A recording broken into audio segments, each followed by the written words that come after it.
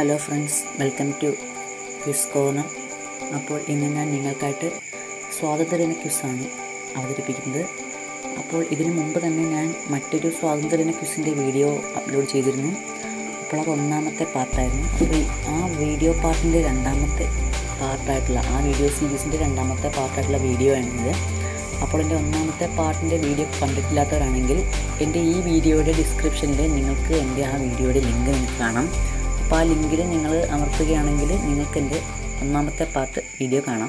ഒന്നാമത്തെ പാർട്ട് വീഡിയോയിൽ കുറച്ചുകൂടി ചോദിക്കാൻ ഉറപ്പുള്ള ചോദ്യങ്ങൾ അതുകൂടാതെ നല്ല നല്ല ചോദ്യങ്ങൾ അതിൽ ഉൾപ്പെടുത്തിയിട്ടുണ്ട്. അപ്പോൾ നമുക്ക് നമ്മുടെ ക്വിസിലേക്ക് കിടക്കാം. സ്വാതന്ത്ര്യ ക്വിസ്.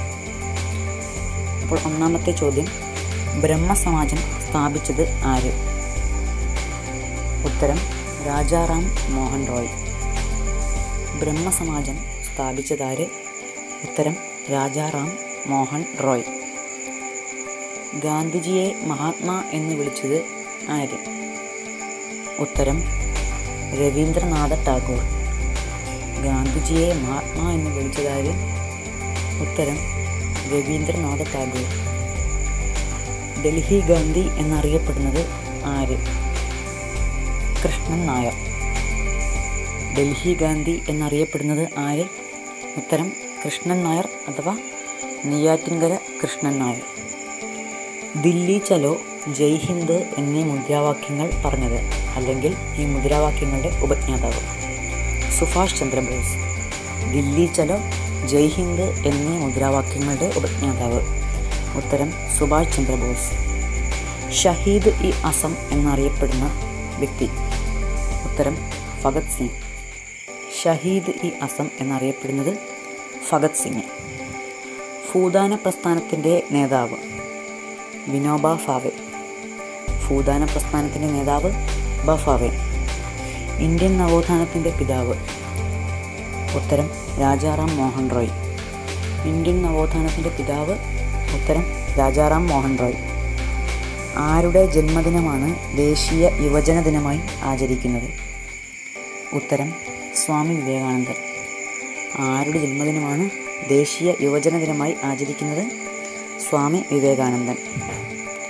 കേരളത്തിലെ ഉപ്പ് സത്യാഗ്രഹത്തിന്റെ ഔദ്യോഗിക ഗാനം. അതല്ലെങ്കിൽ കേരളത്തിൽ ഉപ്പ് സമയത്ത് അണികൾ പാടിയിരുന്ന ഗാനം ഇത്. ഉത്തരം വരിക വരിക സഹചര്യം കേരളത്തിലെ ഉപ്പ് സത്യാഗ്രഹ ഗാനം വരിക വരിക സഹചര്യം വാഗൺ ട്രാജഡി നടന്ന വർഷം ആയിരത്തി തൊള്ളായിരത്തി ഇരുപത്തി ഒന്ന് വാഗൺ ട്രാജഡി നടന്ന വർഷം ആയിരത്തി തൊള്ളായിരത്തി ഇരുപത്തി ഒന്ന് മുസ്ലിം ലീഗ് സ്ഥാപിച്ചത് എന്ന്. ഉത്തരം ആയിരത്തി തൊള്ളായിരത്തി ആറ് മുസ്ലിം ലീഗ് സ്ഥാപിച്ചത് എന്ന്. ഉത്തരം ആയിരത്തി തൊള്ളായിരത്തി ആറ് കോൺഗ്രസിന്റെ പ്രസിഡന്റായ ആദ്യ ഇന്ത്യൻ വനിത. ഉത്തരം സരോജിനി നായിഡു. കോൺഗ്രസിന്റെ പ്രസിഡന്റായ ആദ്യ ഇന്ത്യൻ വനിത ഉത്തരം സരോജിനി നായിഡു. കോൺഗ്രസിന്റെ പ്രസിഡന്റായ ആദ്യ വനിത എന്നത് ആനി ബസന്റ് ആണ് ആനി ബസന്റ് അയർലൻഡുകാരി ആയതുകൊണ്ട് ഇന്ത്യൻ നാഷണൽ കോൺഗ്രസിന്റെ പ്രസിഡന്റായ ആദ്യ ഇന്ത്യൻ വനിത എന്ന നേട്ടം സരോജിനി നായിഡുവിനാണ്. ബംഗാൾ വിഭാജനം തിരിച്ചെടുത്ത വർഷം അതല്ലെങ്കിൽ ബംഗാൾ വിഭജനം റദ്ദാക്കിയ വർഷം ആയിരത്തി തൊള്ളായിരത്തി പതിനൊന്ന്. ബംഗാൾ വിഭജനം റദ്ദാക്കിയ വർഷം ആയിരത്തി തൊള്ളായിരത്തി പതിനൊന്ന്. ബംഗാൾ വിഭജനം അതായത് ബംഗാൾ വിഭജിച്ച വർഷം ഏത് എന്ന ചോദ്യത്തിന് ഉത്തരം ആയിരത്തി തൊള്ളായിരത്തി അഞ്ച് എന്നാണ്. ഗാന്ധിജി പങ്കെടുത്ത ആദ്യ കോൺഗ്രസ് സമ്മേളനം ആയിരത്തി തൊള്ളായിരത്തി ഒന്ന്. ആയിരത്തി തൊള്ളായിരത്തി ഒന്നിലെ കോൺഗ്രസ് സമ്മേളനത്തിൽ ദിൻഷായി വാച്ചയായിരുന്നു അധ്യക്ഷ പദവി അലങ്കരിച്ചത്. ഗാന്ധിജി പങ്കെടുത്ത ആദ്യ കോൺഗ്രസ് സമ്മേളനം ആയിരത്തി തൊള്ളായിരത്തി ഒന്ന്. ഇന്ത്യയുടെ അവസാനത്തെ വൈസ്രോയ് മൗണ്ട് ബാറ്റൻ. ഇന്ത്യയുടെ അവസാനത്തെ വൈസ്രോയ് മൗണ്ട് ബാറ്റൻ.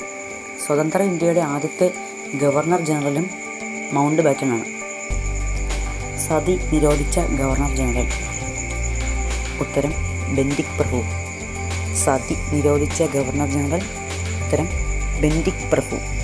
അതല്ലെങ്കിൽ വില്യം ബെൻഡിക് പ്രഭു. ഇംഗ്ലീഷുകാരുടെ ഇന്ത്യയിലെ ആദ്യത്തെ ഫാക്ടറി അതായത് ബ്രിട്ടീഷുകാരുടെ ഇന്ത്യയിലെ ആദ്യത്തെ ഫാക്ടറി. ഉത്തരം സൂററ്റ്. ഇംഗ്ലീഷുകാരുടെ ഇന്ത്യയിലെ ആദ്യത്തെ ഫാക്ടറി ഉത്തരം സൂററ്റ്. കേരളത്തിൽ ബ്രിട്ടീഷിനെതിരെ അതായത് ബ്രിട്ടീഷുകാർക്കെതിരെ നടന്ന ആദ്യ സംഘടിത കലാപം ആറ്റിങ്ങൽ ലഹള. കേരളത്തിൽ ബ്രിട്ടീഷുകാർക്കെതിരെ നടന്ന ആദ്യ സംഘടിത കലാപം ആറ്റിങ്ങൽ ലഹള. ആയിരത്തി എഴുന്നൂറ്റി ഇരുപത്തി ഒന്നിലായിരുന്നു ഈ ലഹള നടന്നത്. വൈക്കം ഹീറോ എന്നറിയപ്പെടുന്ന വ്യക്തി. E V Ramaswamy Naicker. Vaikom hero എന്നറിയപ്പെടുന്ന വ്യക്തി ഉത്തരം ഇ വി രാമസ്വാമി നായ്ക്കർ. അദ്ദേഹത്തിനെ പെരിയോർ എന്നും അറിയപ്പെടുന്നുണ്ട്. അപ്പോൾ നിങ്ങൾക്ക് എന്റെ വീഡിയോ ഇഷ്ടപ്പെട്ടതായി കരുതുന്നു. ഇതുപോലെയുള്ള മികച്ച മികച്ച വീഡിയോസ് നിങ്ങൾക്ക് അപ്ലോഡ് ചെയ്യുന്ന സമയത്ത് തന്നെ നോട്ടിഫിക്കേഷനായി നിങ്ങൾക്ക് ലഭിക്കുവാൻ നിങ്ങൾ എന്റെ വീഡിയോയുടെ താഴെ കാണുന്ന സബ്സ്ക്രൈബ് ബട്ടൺ അതായത് ഒരു ചുമന്ന ചുവന്ന ലെറ്ററിൽ കൊടുത്തിരിക്കുന്ന സബ്സ്ക്രൈബ് ബട്ടൺ അമർത്തിയ ശേഷം പിന്നാലെ വരുന്ന ബെൽ ബട്ടണിൽ കൂടെ അമർത്തുകയാണെങ്കിൽ നിങ്ങൾക്ക് എന്റെ എല്ലാ വീഡിയോസും നോട്ടിഫിക്കേഷനും ലഭിക്കും. അപ്പോൾ നിങ്ങൾക്ക് എന്റെ ഈ വീഡിയോ ഒരു സഹായകരമായെങ്കിൽ അത് നിങ്ങൾക്ക് മറ്റുള്ളവർക്ക് ഷെയർ ചെയ്യാൻ മറക്കരുത്. നിങ്ങൾ ഇത് നിങ്ങളുടെ മക്കൾക്കോ അല്ലെങ്കിൽ കുട്ടികൾക്കോ എങ്കിലും പറഞ്ഞു കൊടുക്കുകയാണെങ്കിൽ അത് അവർക്ക് സ്കൂളിലെ സ്വാതന്ത്ര്യദിന ക്വിസ് മത്സരത്തിൽ അവർക്കത് ഉപകാരപ്രദമായിരിക്കും അപ്പോൾ എന്റെ വീഡിയോ ഇതോടെ അവസാനിക്കുന്നു. നന്ദി നമസ്കാരം.